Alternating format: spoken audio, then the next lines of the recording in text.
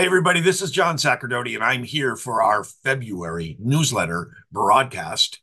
And we're here to say a couple of things. But first and foremost, thank you for a great show. I'd like to thank everybody that made it possible. The 2024 show, huge success. Thanks to our exhibitors, our volunteers, sponsors, allied members. I got to say, it's your level of commitment, dedication, and professionalism that makes this the best show in the country. Just happens to be the largest show in the country, too. But boy, did we just hit it out of the park this year with a, an updated figure, by the way, of a total of 22,657 at the gate. We actually underestimated uh, Saturday um, and, and, and made the adjustments. Uh, my bad, we forgot to include the pre purchase sale tickets.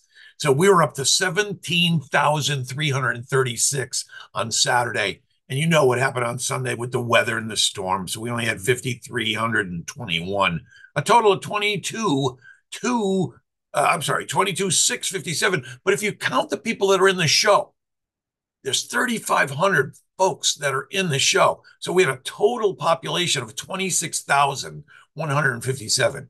And keep in mind that the people in the show, they're only counting once. We don't count them on Friday, on Saturday and then again on Sunday. They're there for the whole time. It's the same people. So I don't like to up, upgrade numbers when it's not.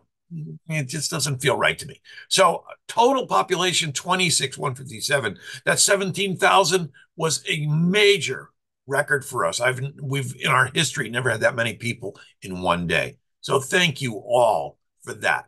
And you know, I got to say, the commitment, our commitment to you, all the railroad hobbyists, we're going to keep making changes. We're going to keep making this show better. We actually have our hits and misses meeting coming up soon. We keep it right after the show just so it's fresh in our minds. We love hearing about the good stuff, but I would much rather hear about what can we do to make it better. So we always have that happening. Okay. But we're going to rest for a while.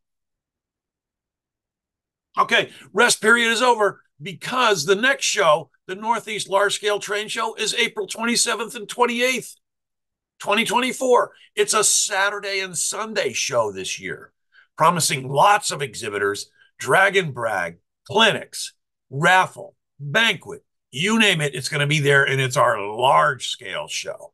So if you enjoyed the Railroad Hobby Show this year, you're in for another treat in April. Save those dates, April 27th and 28th 2024. Check out nelsts.org for the latest and greatest. Contracts are on the way to exhibitors.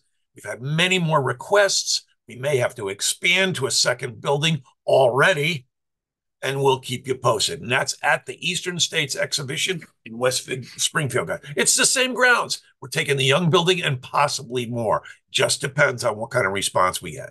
So thanks one more time. See you in April and we'll take care and we'll hope to see everybody around. Take care.